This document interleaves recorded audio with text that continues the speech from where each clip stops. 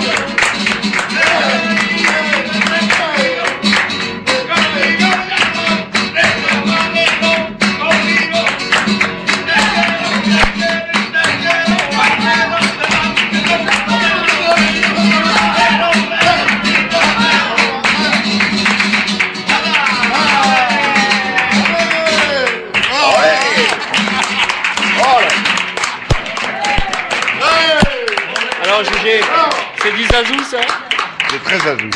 C'est zazou hein. C'est zazou hein. Est-ce que c'est zazou ça Est-ce que c'est zazou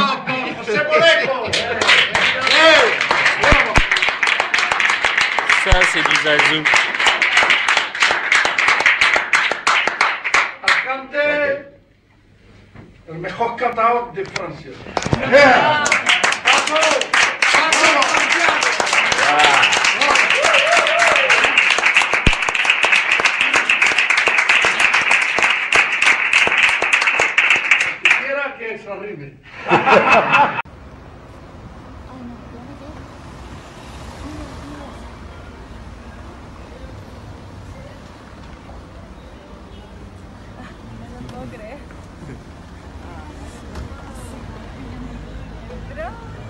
Y se fue...